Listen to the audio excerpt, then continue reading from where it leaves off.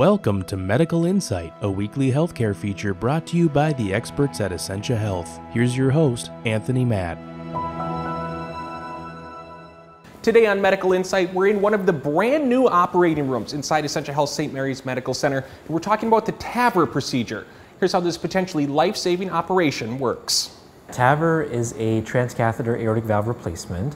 So, for people who have a dysfunctional aortic valve, we can replace the valve going through a catheter that's run up through the body through one of the arteries, and that effectively replaces their native aortic valve and gives them a brand new functioning one.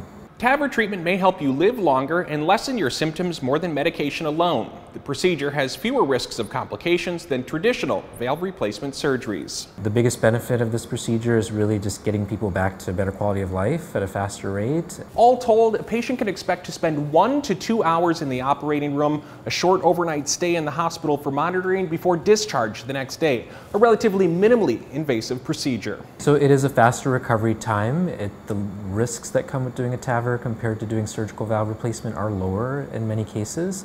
Also, it expands the therapy to people who might otherwise be a high risk surgical candidate or prohibitive surgical candidate, so they can still benefit from valve replacement by getting it done. Symptoms of valve disease include shortness of breath, chest pressure, dizziness, feeling lightheaded, and a reduced ability to do normal activities. If you're experiencing these symptoms, Essentia recommends you schedule an appointment with your doctor.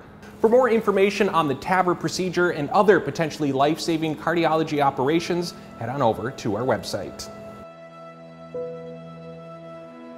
This medical insight was brought to you by Essentia Health. To learn more, go to essentiahealth.org.